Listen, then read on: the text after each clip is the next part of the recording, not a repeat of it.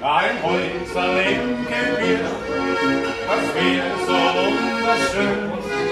Und oben neben mein ganz kleine große stehen. Das wäre für uns zwei das schönste Glück auf der Welt.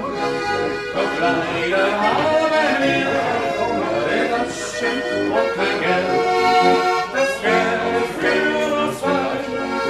schönste Glück auf der Welt. Doch leider haben wir das Schiff und kein Geld.